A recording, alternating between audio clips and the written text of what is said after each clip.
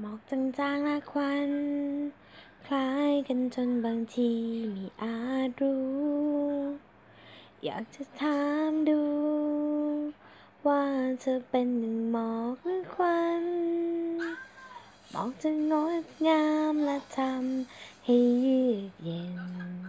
แสนจะเย็นสบายในยามเช้า เป็นควันไฟ